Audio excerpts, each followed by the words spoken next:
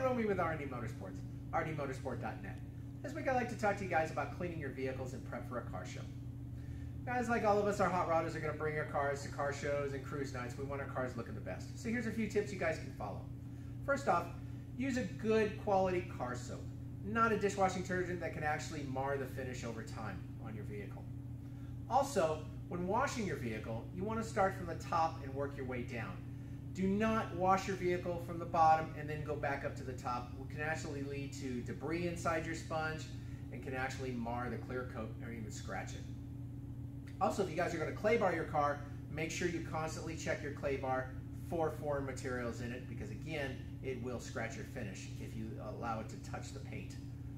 And last but not least, when waxing and polishing, you want to use high quality microfiber towels. They're the softest and they will actually bring the vehicle to a high luster the end.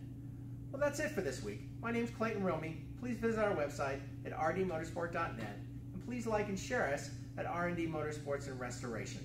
And thanks for tuning in.